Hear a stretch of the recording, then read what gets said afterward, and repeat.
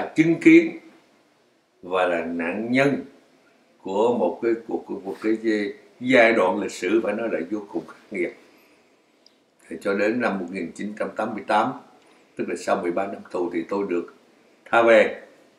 Và sau đó bởi vì tôi không có tìm thấy được cái đất sống trên quê hương mình cho nên tôi buộc lòng phải vượt biên ra đi.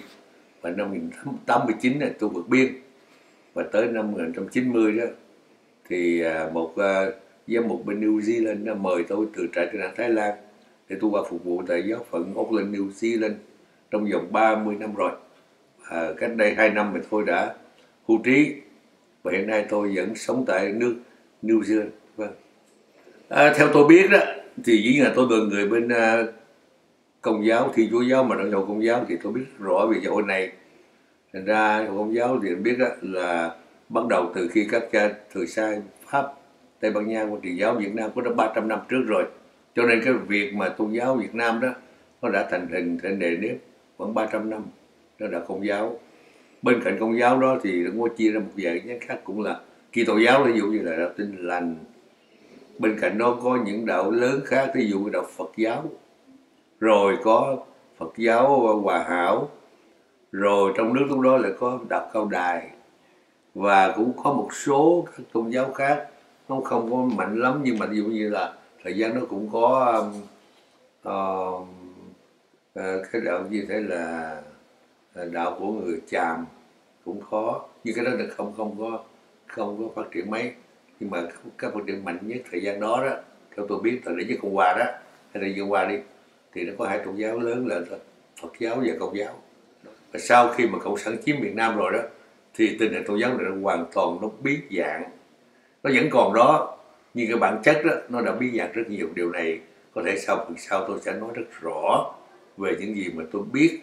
Tôi đã chứng kiến tôi đã trực tiếp lên tiếng và tôi đã tranh đấu cho cái ờ, cái sự à, à, tự do và cái đem lại cái bản chất thật sự tôn giáo. Điều đó tôi đã làm à, đang làm và như là tôi sẽ làm. Rằng nếu một người nào nói rằng trước thời để với con quà đó mà thời với con quà đó mà Phật giáo bị đàn áp đó là cái điều đó hoàn toàn sai. Tôi nói thẳng vậy hoàn toàn sai.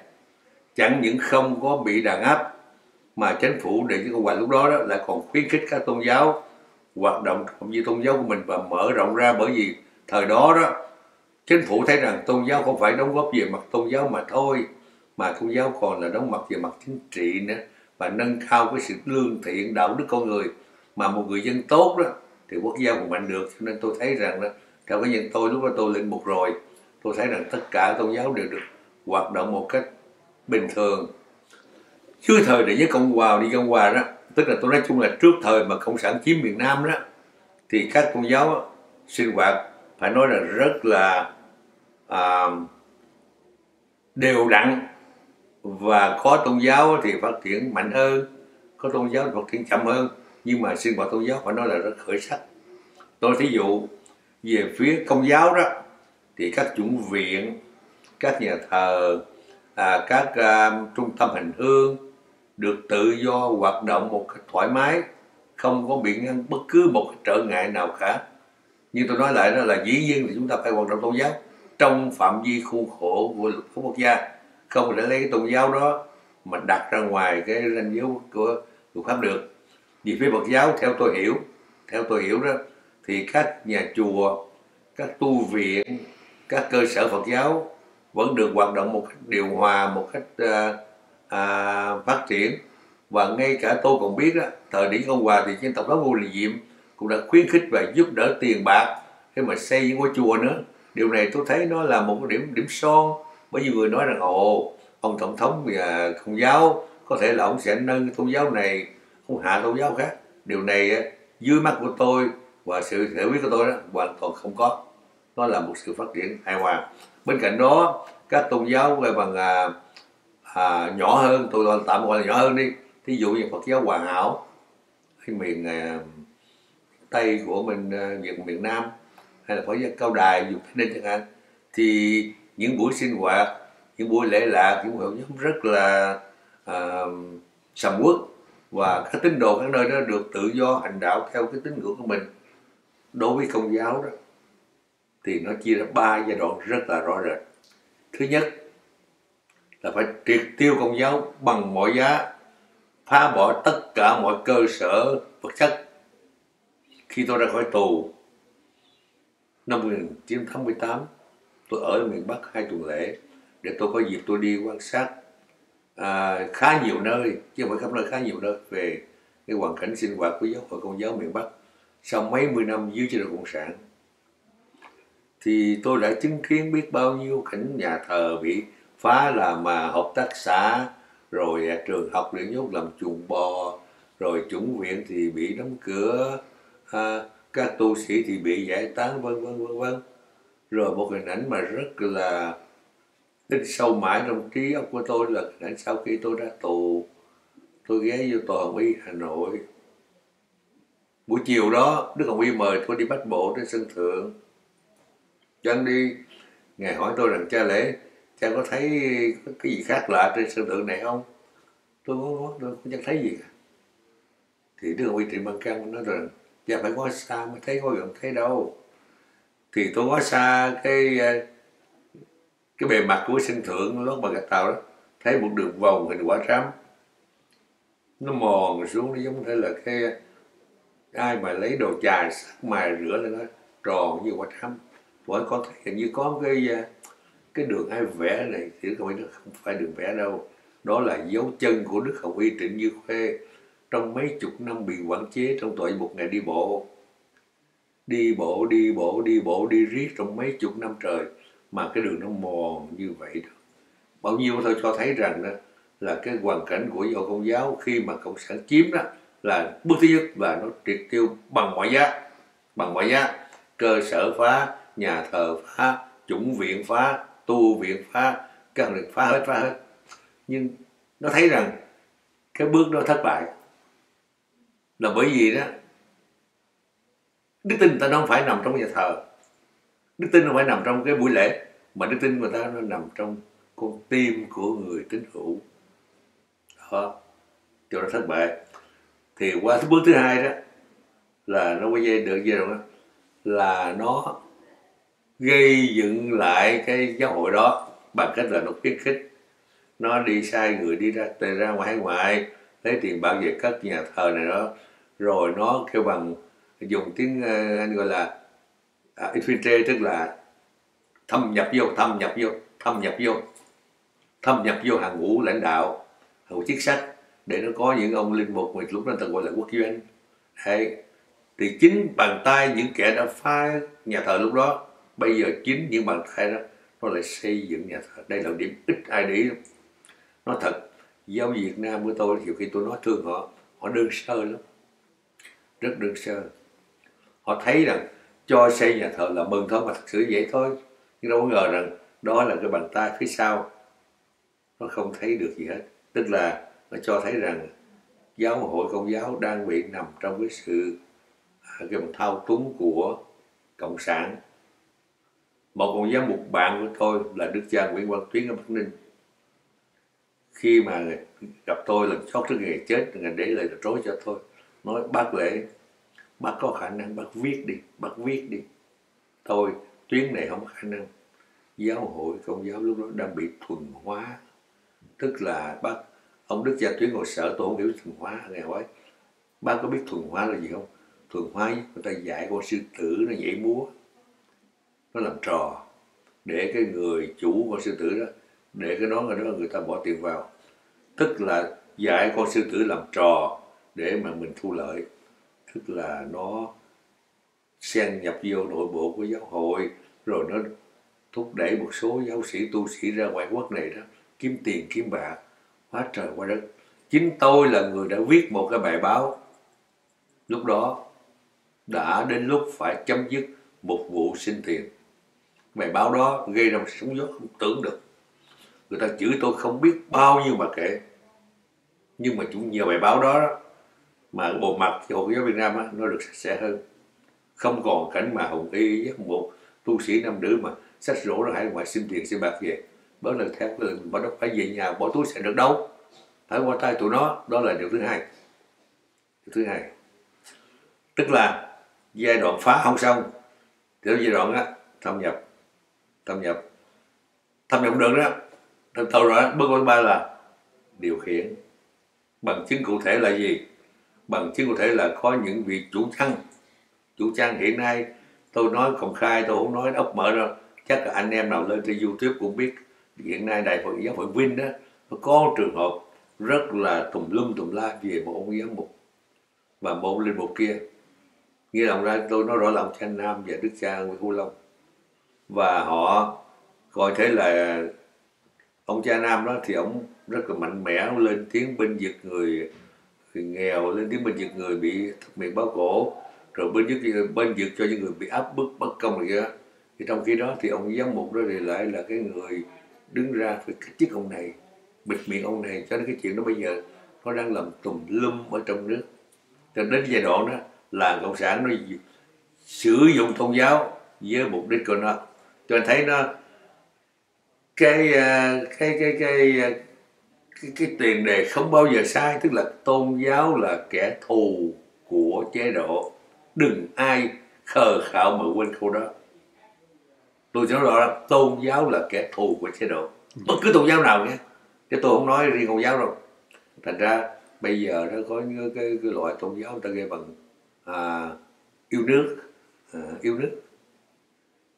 Tụi cộng sản đứng ngoài nó không làm được thì nó lấy mấy hay như ông cha ngay những cái người trong giáo hội đó đứng ra thành lập quỹ ban công giáo yêu nước yêu nước. Đó yêu nước để dùng cái yêu nước đó, đó lũng đoạn tất cả mọi sinh hoạt tôn giáo. Cho đến khi nào mà, mà tôn giáo này đó tê liệt hẳn thì thôi đó là cái chủ trương rõ. Cho nên nếu mà nói về vấn đề tôn giáo đó thì tôi là một cái người đã làm cha xứ sau khi cộng sản chiếm miền nam. Tôi đã có kinh nghiệm hết sức đau thương về vấn đề vai trò một ông cha xứ dưới chế độ cộng sản. Và tôi đã chứng kiến tận mắt những cái nhà thờ những cái chủng viện những cái trường học những cái à, tu viện đã bị cộng sản tàn phá. Và tôi là người đã chứng kiến được cái cảnh những ông linh mục một mà chúng tôi gọi là quốc doanh đó nghĩa là si sang iso đó thì gọi là diện chủ gọi là tại sai làm con rối cho cho, cho chế độ. Thành ra phải tiêu diệt bằng mọi giá. Còn sự tiêu diệt thế nào đó thì tùy theo cái chiến thuật thay đổi theo cái hoàn cảnh. Đó là tôi nói về phía công giáo. Và mà dân tộc hiện nay đó, là dưới chế độ cộng sản nó cai trị nó nắm quyền. Cho nên khi mà những người công giáo yêu nước này nọ đó thì nó ban cho được những cái quyền lợi hoặc những cái tức là favor đó. Favor tức là những cái ân huệ đó ví dụ xây nhà thờ tổ chức rất kiệu được đi hải ngoại này kia đó thì nó được ờ, tự do hơn nó được nó được cái bằng à, thoải mái hơn. Và một hiện tượng rất là dở thôi là dở đó thì một số những vị linh mục ở trong nước này tôi chưa nói tới tôn giáo khác thì bây giờ muốn cho mình cũng được một cái ân huệ với với với, với tôi gọi là chữ Việt Cộng đi. Thì lại có những ông cha trẻ bây giờ lại đi à, giao tế ở à, giao tế gọi là giao tế rồi ăn uống rồi nhậu nhẹ thành ra nó hư hại cả một cái tầng lớp giáo sĩ trẻ sau này. Nó hư hại cả một tầng lớp giáo sĩ trẻ sau này mà người ta không thấy không thấy đặc biệt cái người công giáo đó lại rất là kính trọng các linh mục. Đây là điểm tốt và cũng là điểm xấu. Giáo dân mà kính trọng linh mục thì rất là tốt. Không gì sai hết đó. nhưng mà cũng chính vì kính trọng quá đó, cho nên nhiều khi giáo dân lại nhắm mắt không thấy những hành động sai trái của linh mục. Cái này hoàn toàn tai hại. Rất là tai hại. Cho nên cái sự mà giáo dân mà kính nể tôn trọng của linh mục đó, nó là một con dao hai lưỡi có dao hai lưỡi nếu mà vị cái mục đó là người tử tế đứng đắn biết lo đời sống tôn giáo và nâng cao cái tinh thần của giáo dân đó là điều tốt. Nhưng mà nếu như linh mục đó là những người mà đã ngã nghiêng theo cái chế độ của bằng à, à, à kêu bằng dâu thế rồi để lấy lòng để mình được xây dựng nhà thờ để này kia nọ thì đó là một cái điểm tai hại. Cho nên thật ra nhiều khi tôi nói đây đó có thể một vài linh mục nghe tôi nói họ cũng không đồng ý đâu. Không đồng ý đâu. Nhưng mà tôi phải nói. Tôi phải nói những gì tôi suy nghĩ. Thật danh đó khi mà tôi thấy nhà thờ trong Việt Nam càng ngày càng xây đồ sộ bao nhiêu càng kêu bằng à, à, phô trương bấy nhiêu thì trong lòng tôi lo bấy nhiêu. Là có những người lại còn à, đơn giản đâu nè chưa bao giờ mà vô công giáo đó, phát triển nhà thờ thánh như dưới chế độ cộng sản câu này thật là một sự đau đớn. Người ta đâu có biết rằng đó là một cái nước sơn bên ngoài. Nước sơn bên ngoài đó để che giấu những cái gì tồi tệ bên trong. Vừa rồi đây cách đây à, chắc chừng à, 3 tháng thôi tôi có viết một cái bài. Thỉnh thoảng anh biết tôi viết trên youtube một số bài về vấn đề một cái hiện tượng nhỏ nhưng mà nó nói lên một cái à, cái cái, cái tầm vóc lớn đó là cái chuyện mua lân trong nhà thờ trong dịp uh, Tết Trung Thu vừa rồi. Đấy. Cái nhà thờ đó, khi xây dựng nhà thờ đó, hiểu nghĩa đó là một nơi linh thiêng, một nơi tôn nghiêm. Nhưng mà khi mà đưa cái đoàn lân vô nhà thờ đó, để mà múa, một đoàn lân đưa vô nhà thờ đó, để mà nhảy nhót trên cung thánh đó, thì đó nó là một sự phá hoại cái sự thiêng liêng của của cái tôn giáo. Và chuyện này đó chỉ xảy ra dưới chế độ cộng sản mà thôi. Cái chuyện múa lân của nhà thờ đó mặc dù đơn giản lắm nói rồi tại vì à, lễ lễ à, trung thu nó muốn cho mấy trọi nhẽo nó vui. Nhưng mà là người tôn giáo chúng ta biết rằng đó những cái đền những cái nhà thờ những ngôi chùa phải hiểu là những nơi linh thiêng, những nơi nó uy nghi. Thế bây giờ một cái nhà thờ công giáo mà đưa đoàn lân vô múa rồi nhảy nhót lung tung ở trên bàn thờ, nghĩa lý gì? Cái này nó phải hiểu nhiều ý nghĩa lắm. Thứ nhất là nó làm coi cái nhà thờ đó như thể là một cái hội trường hay một cái chợ ra thứ gì đó là đánh ngay hết cái sự linh thiêng. Anh biết cái tôn giáo đó, mà tồn tại được là vẫn có một cái linh thiêng của nó. Cái linh thiêng của tôn giáo. Anh đi ngang qua chùa mà anh vô nó thấy người ta bán chợ rầm rầm rầm anh đâu làm gì có sự tôn kính nữa.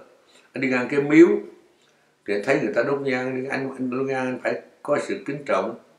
Chứ bây giờ thấy ngôi miếu là bây giờ mấy đứa nhỏ nó còn nhậu nhẹt thì sao ngôi miếu nữa. Cho nên cái tích linh thiêng tôn giáo là cái chuyện quan trọng cộng sản quyết tâm phá vỡ tất cả sự linh thiêng tôn giáo.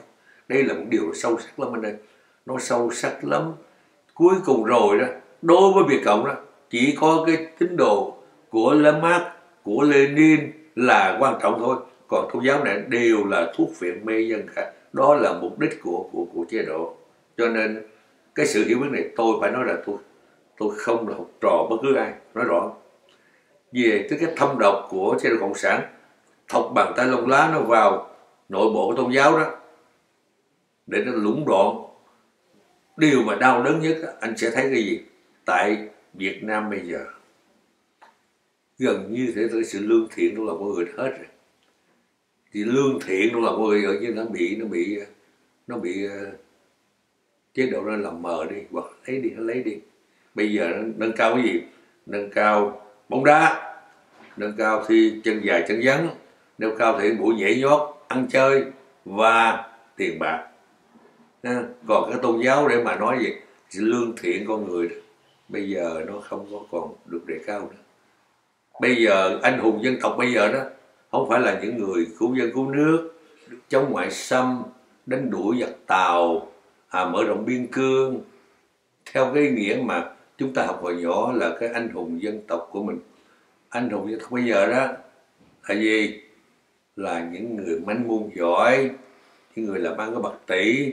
Một số một chiều trở thành tỷ phú, rồi những chân dài chân vắng, rồi những xuống đường đá banh, rồi đội nhà mình thắng thì cỡ truồng chạy khắp nơi. Cái điều đó nó thành việc trở thành một cái mốt thời đại, thì bây giờ cái chế độ nào làm cho nó? Chế độ cộng sản. Dưới thời đệ nhất hiện hòa không bao giờ có hiện tượng quái đảng này. Không bao giờ có. Cho nên tôi nói đó chính chế độ nó phá hoại theo tôi đó chế độ cộng sản nó phá hoại dân tộc mình nó nhiều mặt lắm mà có nhiều người dân hiểu rõ hơn thôi nhưng mà về mặt tôn giáo đó, thì tôi phải nói cái điều mà tôi lo lắng nhất đó là nó phá hoại cái sự lương thiện trong lòng con người. Trong sách tôi phải sống tôi nhớ rõ đó sống chế độ này đó những người lương thiện và người ngay thẳng không có đất để sống không có đất để sống nữa cái nạn kêu bằng à, à, tham nhũng rồi hối lộ rồi đúc nhét của ta nó trở thành như thể là một cái à, cái cái cái routine tức là cái cái cuộc sống bình thường người dân. À, bình thường thôi. À, đi nhà thương anh vô nhà thương ngay cái người quét phòng đi nữa anh nhét nó chút xíu. Nó mới quét nhét thành chút. Đi bệnh viện có như cháu tôi nó đi đẻ đi sanh thôi. Cái người đẩy xe phải nhét nó chút xíu y tá đưa, đưa giường phải nhét chút xíu. Bác sĩ thành cái nhét nhét. Nó là một cái thứ ờ, một cái cái, cái, cái lề lối lề lối sinh hoạt của cái xã hội. Dưới chế độ cộng sản tôi hỏi anh cái sự lương thiện cái sự ờ, tử tế cái sự ờ, tôn trọng lẫn nhau nó còn cái gì nữa? Cho nên á thật sự nói tôi vẫn cầu mong và tôi vẫn đóng góp vào cái việc làm thế nào để mà phải tẩy trừ cho được cái chế độ cộng sản Việt Nam. Tôi nói rất rõ tôi quyết tâm và tôi cộng tác tất cả người nào để tẩy trừ khỏi cái cái bộ cái chế độ nhơ dốt đó trên của Việt Nam chúng ta.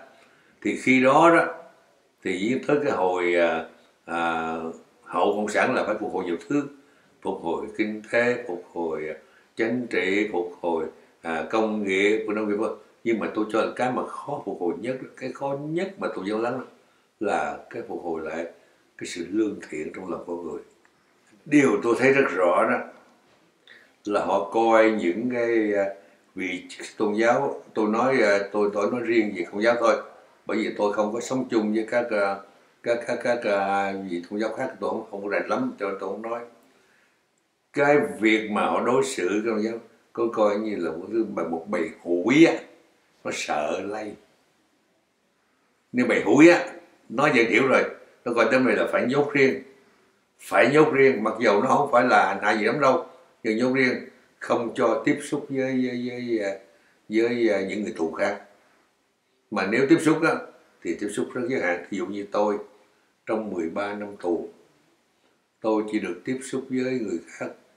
Đó, đó là những người bị đưa lên kỷ luật nằm với tôi thôi. Còn ngoài ra tôi không được tiếp xúc với bất cứ một người tù nào khác. Ở dưới trong trong những nhà tù mà tôi đã trải qua. Cho nên đó, vấn đề đó là họ muốn sợ ảnh hưởng của các vị linh mục trong các nhà tù. Đó và họ đặc biệt chú ý tới cái đời sống sinh hoạt của các vị linh mục ở trong tù.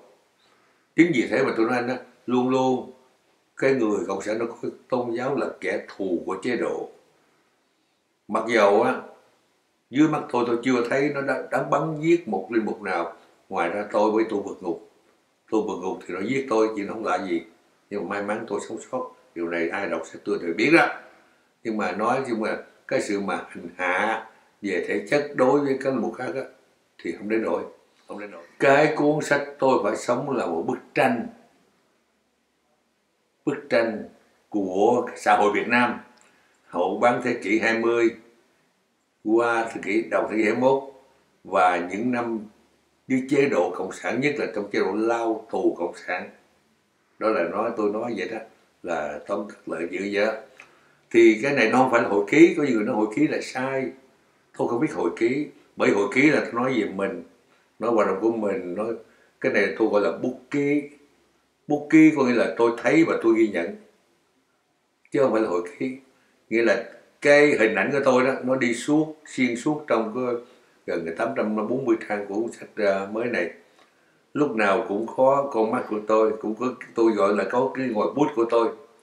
Nét vẽ của tôi tôi vẽ lại vẽ lại vẽ lại vẽ lại và tôi vẽ cách trung thực. Có người nói rằng là tôi à, à, chống cộng à, không không phải. Tôi đã phá tất cả những gì mà sai sót trong cái đời sống của dân tộc Việt Nam ta. Thí dụ tôi lên án rất nặng nề. Những vị giáo sĩ, những vị linh mục nào lợi dụng chức vụ tôn giáo của mình, dựa thế chính quyền, hà hiếp dân chúng, đánh đập dân chúng, và dùng cái chữ gọi là ờ, đè đầu cởi cổ chúng đó, thì trong sách tôi nói rằng những loại giáo sĩ này tội họ nặng gấp trăm lần hơn cam vô lại. Tôi không phải là cái người ờ, đứng ra vì tôn giáo tôi mình giật cái cái việc này. Phải nói rằng á linh mục Nguyễn Hữu Lễ là người của dân tộc. Tôi phải nói rõ vậy. Tôi là người dân tộc. Tôi là tôi nói câu trước khi làm linh mục tôi là người Việt Nam. Thì cuốn sách tôi sống này đó nó là một cuốn sách tâm hồn của một người Việt Nam và người đó là một linh mục chứ không phải vì ông là linh mục mà viết sách này. À, thì nếu mình hỏi tôi tôi thật lại nó là một câu chuyện rất dài và nó giống một cái mắt xích đó cái mốc này nó móc cái mốc kia trong suốt một quá khứ mà tôi được nhớ là hồi tưởng lại trong suốt. Quãng đời của tôi từ khi tôi còn mới trí khôn, đến thời pháp thuộc đến thời đệ nhất cộng hòa, đến thánh mẫu thân, đến đệ nhị cộng hòa, rồi đến đến ngày lật đổ chế độ đệ nhất cộng hòa, đến đệ nhị cộng hòa, đến ngày 30 tháng 4 mất nước, rồi đến ngày tôi làm cha xứ, đến ngày tôi không đồng ý với chế độ, rồi tôi bị bắt, tôi đi tù và đi suốt mười mấy năm tù lăn lộn trong rất nhiều nhà tù cộng sản từ nam chí bắc. Tới ngày tôi ra về ra về sống không được. Tới ngày tôi phải vượt biên tôi ra nước ngoài và tôi gặp lại những người hành hạ tối nào. Đó là cả một cái bức tranh một bức tranh dài. Và tôi nghĩ rằng đó bức tranh này đó là thế hệ trẻ Việt Nam á, phải nhìn thấy phải đọc phải hiểu và phải biết. Bởi vì á, các bạn trẻ không có cơ hội và không có cái cái, cái nói cái dịp tiểu đúng không? Có phải không có hoàn cảnh đó phải đưa vô đó. Mà tôi là cái người cùng với một số rất đông anh em đã trải qua. Nhưng đã trải qua nhưng không có có thể nói ít có người nào mà chịu những cái sự mà bằng à, à, nặng nề như tôi đã chịu như tôi đã chịu. Tôi nghĩ đây là một bức tranh sống động bức tranh này vẽ bằng máu, bằng nước mắt của tác giả và của dân tộc. Cái đại thể đó, thì cái cái câu nói của bà đó với cái chủ trương của tôi, nó tương tự như nhau. Nếu anh không biết quá khứ đó, thì anh không thể hiểu được hiện tại. Và nếu không hiểu hiện tại đó, anh sẽ không có một giải pháp cho tương lai. Trong cuốn sách tôi đó, ở ngoài bìa cuối cùng đó, tôi viết câu này đừng ngừng đó ngồi đó để ngắm nga lịch sử. Nhưng hãy dùng lịch sử như ngọn đèn soi sáng cho con đường dân tộc mình phải đi. Phải dùng cái đó như ngọn đèn soi sáng con đường dân tộc phải đi. Chứ nếu bây giờ mình không biết gì cả à, mãi mê hồi nhỏ lớn lên là ăn chơi. Ở chiều là ăn xe. À, à, rồi đá banh. Rồi nhậu nhẹt. Rồi lo áp he rồi lo buôn bán làm giàu thì anh làm gì? Còn có một chút gì về vấn đề tương lai đất nước được? Cái điều mà tôi thấy rất rõ trong nước bây giờ đó, mà được vô cùng tai hại đó, là gần như, gần tôi gần như, chứ phải tất cả là gần như, hầu hết giới trẻ bây giờ đó, họ nghĩ rằng cái quyền lãnh đạo đất nước đó là quyền đương nhiên của đảng cộng sản việt nam, và đó là cái điều mà cái chế độ sẽ quyết tâm làm cho được điều đó nghĩa là tụi bay làm gì làm? Muốn làm gì làm? Nhưng mà đừng bao giờ động chuyện đến cái chuyện mà cái quyền lợi nước đó là việc đặc quyền. Trời ban cho đảng cộng sản từ thượng đế mới tạo dựng vũ trụ đó, đã ban cho nó cái quyền đó rồi. Tức là tụi bay đừng bao giờ đụng chạm đó đó là cái chuyện độc quyền của đảng cộng sản. Cho nên đó là cái điều vô cùng tai hại.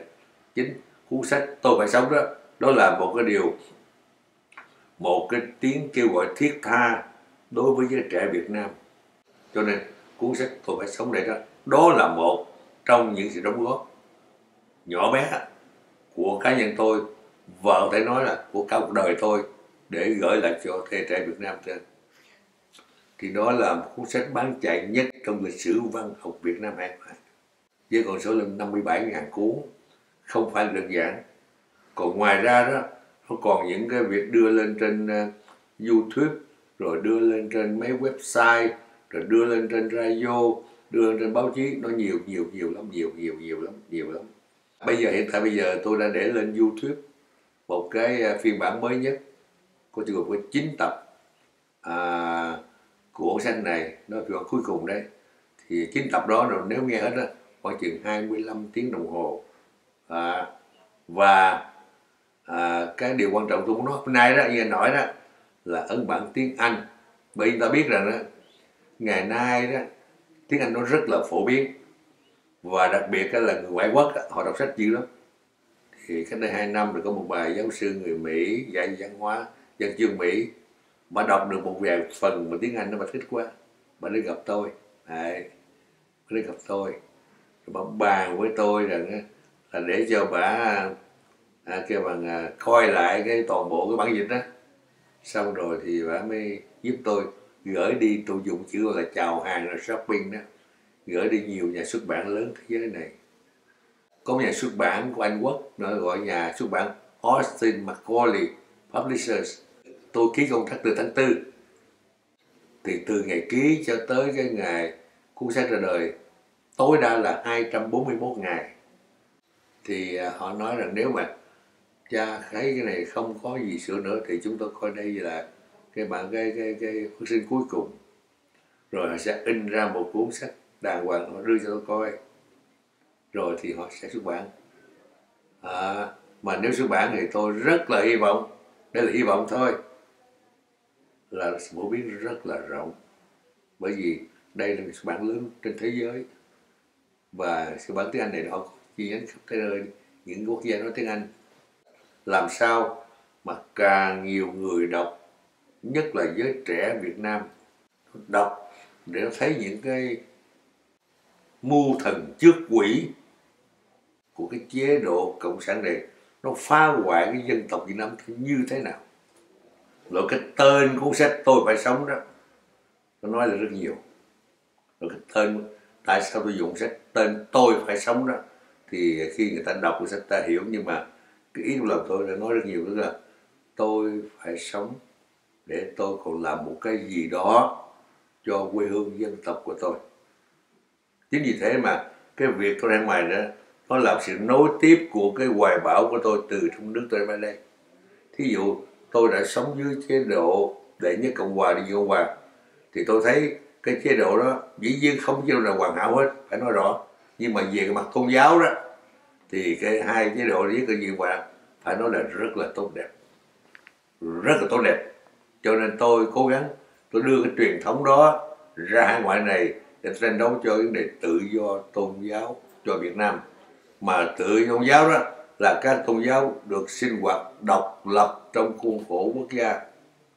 Chứ các tôn giáo không bị lệ thuộc và ràng buộc bởi cái chế độ vô thần cộng sản ai cũng có thể có một cái định nghĩa rất đơn giản rằng chế độ cộng sản là chế độ vô thần. Thì làm sao mà sống chung với tôn giáo là hữu thần được? Chế độ còn. Tôn giáo bắt buộc phải bị không tiêu diệt được á. Thì tôi dùng cái chữ gọi là biến dạng. Ngay phía bên công giáo sinh hoạt chặt chẽ như vậy đó. Mà vẫn còn cái kẽ hở để chúng ta thọc cái bàn tay, lông lá này vào để mà nó nó nó nó năm mươi cán năm thì những tôn giáo mà kêu bằng cái sự hệ thống tổ chức nó không được chặt chẽ đó, thì nó đâu có tha. Đó đó là điều bất hạnh dân tộc mình. Còn bây giờ anh hỏi tôi về những cái phong trào làm việc nam thì cái phong trào quốc dân đòi trả tới Sài Gòn đó, nó là một vấn đề về lịch sử và văn hóa của dân tộc. Tôi chưa đặt vấn đề chính trị ở đây. Tôi chưa đặt vấn đề thì tôi chỉ nói về văn hóa và lịch sử thôi thì ai cũng biết rằng đó, miền Nam chúng ta từ trước giờ đó miền Nam chúng ta trước giờ đó ai coi Sài Gòn như là một cái trung tâm thủ đô mà. Rồi ai coi Sài Gòn như là một cái ờ, đến độ ta cho tên là Hậu Ngọc Viễn Đông nữa. Ta cho Sài Gòn là như một cái gì đó tốt đẹp nhất cái tinh hoa của miền Nam. Rồi bây giờ những kẻ chiến thắng áp đặt cái tên ghê tởm đó nó đè lên đầu lên cổ dân miền Nam đây là hành động hết sức là là giả mang. Tôi chưa nói cái chuyện giả nữa giả mang và phải nói là sự rừng rú của những kẻ có quyền. Tên tội đồ dân tộc mà dùng cái tên nó để đặt cho cái thành phố thân yêu của tôi tôi không thể nào chấp nhận được. Rồi, giáo hội công giáo Việt Nam, cứ cái đà đó mà lại dùng cái tên thành phố, tổng giáo phận thành phố Hồ Chí Minh đặt cho tổng hội Sài Gòn. Chính vì thế mà cá nhân tôi đã phát động phong trào quốc dân đòi trả lại tên Sài Gòn. Nếu mà muốn đòi trả tên Sài Gòn đó, thì phải nói lý do tại sao mình đòi trả tên Sài Gòn. Bởi vì cái tên Hồ Chí Minh đó không có xứng đáng một chút nào để cho kẻ thù nó dùng cái tên đó áp đặt lên đầu lên cổ dân miền Nam cả. Khi chế độ cộng sản Việt Nam đó, nó sụp đổ rồi thì cái tên thành phố Sài Gòn đó, đương nhiên phải trả về ở dân tộc. Chế độ chính trị nào rồi cũng sẽ qua đi, triều đại nào rồi cũng sẽ sụp đổ. Chỉ có dân tộc là trường tồn. Ngoài ra đó, thì cũng cùng với anh em trong cái lực lượng tranh đấu, trong cái chiều hướng là xây dựng tương lai dân tộc đó, thì chúng tôi tham gia trong một cái lực lượng là lực lượng cứu quốc, tập hợp một số đoàn thể và tôi là một trong những người khai sáng và cố vấn. Thì trong đó, anh em tôi có tạo ra cái đài phát thanh đáp lời sông núi. Cái đài đáp lời sông núi này đó là nó không có không có còn mất sâu không quảng cáo không gì hết trơn rồi á. Là cái đài mà chúng tôi chủ trương sự thật, đưa sự thật về trong nước, đưa sự thật đến các thính giả. Coi đó là một cái vũ khí để mình à, gửi một cái thông điệp về sự thật về cho thính giả đặc biệt ở trong nước. Bây giờ vẫn còn đang hoạt động phải nói rằng là 47 năm đối đời người thì lâu, nhưng 47 năm đối với và mệnh nước thì nó còn ngắn quá. Cái cuộc chiến gì rồi, mặc dầu đó thì ai cũng biết là nó bị lôi cuốn vào bởi những cái thế lực chính trị nó ngoài tầm tay của mình. Nhưng mà sau cuộc chiến rồi đó tôi tin tưởng rằng là người dân với người ý thức đó đã bắt đầu nhận ra được cái thân phận của dân tộc mình. Đó là điều tôi hy vọng đầu tiên. Nhưng cái khó chúng ta bây giờ đó là cái người cộng sản sau khi nó chốt quyền rồi, bây giờ nó không phải là đảng cộng sản nữa, mà rõ ràng nó một đảng cướp. Tôi dùng chữ rõ, tôi dùng chữ này với tất cả bằng dân thiên hạ thế giới này đảng Việt năm sau bây giờ tôi là một đảng cướp đảng cướp chính danh đảng cướp có súng. Tôi biết bây giờ đó, có rất nhiều người trong hàng ngũ cộng sản, họ đã tỉnh thức rồi, họ hiểu hết rồi chứ không phải là không. Họ hiểu, nhưng mà bây giờ đó, họ bị vô cái guồng máy. Mà anh biết bây giờ đó là cộng sản kiểm soát từ đầu cho tới cuối, từ trung ương cho tới tổ, tới xã, tới ấp, tới phường. Tức là cái bạch tuộc đó nó kiểm soát như vậy để nó giữ quyền, để nó ăn thôi yêu nước cái gì, thương dân cái gì, giải phóng cái gì, chỉ gọi là một đảng cướp cho nên cái khó của lịch sử của ta cái khó nằm chỗ đó. Có nhiều người biết rồi, hiểu rồi, hiểu đó là một chiến không cần thiết chút nào cả. Mà giết không biết bao nhiêu người. Nhưng bây giờ gọi là hết tiếng súng rồi đó, thì nó lại mắc vô cái dòng khác, là dòng của một đảng cướp nhưng tôi vẫn tin tưởng rằng đó, bất cứ một chế độ nào cần bạo ngược bao nhiêu, thì nó cần mau sụp đổ bấy nhiêu. Tôi là người tranh đấu nhưng tôi với người tôn giáo, cho nên tôi tin có đứng thiêng liêng. Và tôi tin rằng đó đứng thiêng liêng làm những việc mà con người làm không được. Điều đó tôi tin tưởng tuyệt đối. Kinh nghiệm tù đại của tôi trong suốt tôi thấy rõ tôi thấy rõ cái bàn tay thiên chúa đụng chạm đến cuộc đời tôi. Và qua biến cố trong đời tôi rất là rõ rõ ghê cho nên tôi vừa tranh đấu tôi vừa cầu nguyện với dân tộc. Chúng ta nên để phạm vi tôn giáo trong cái phạm vi của họ. Tôn giáo chỉ là một sự hỗ trợ cho cái tinh thần của dân tộc. Chứ tôn giáo không phải đứng ra để mà giải quyết vấn đề của dân tộc được. Dứt khoát là như vậy. Cho nên á, đây là mình nói phạm vi dân tộc. Mà phạm vi dân tộc đó thì giới trẻ đó là một thành phần chánh chánh. Thật sự nói tới tuổi mình bây giờ nên biết cho dù mình có kiến thức, mình có kinh nghiệm, nhưng mà cái tuổi đời mình đó, nó cũng cao và sẽ qua đi rồi. Thì tất cả trách nhiệm đó phải đặt trên vai của giới trẻ. Người cộng sản cố gắng đó, biến giới trẻ thành những hình nộm nhưng tôi tin tưởng là họ không thể làm hết được. Vẫn có những người trẻ thao thức với điều kiện người trẻ nó phải hiểu biết được lịch sử. Cho nên cái cuốn sách tôi phải sống đây tôi viết trình một chương một chương rất là dài để tâm tình với giới trẻ. Chương dài lắm hơi dài nhất trong số chương đó. Gửi tới thế hệ trẻ Việt Nam. Và đây cũng là một cái trách nhiệm tôi đặt lên vai các bạn trẻ. Và tôi vẫn tin tưởng ở điều này.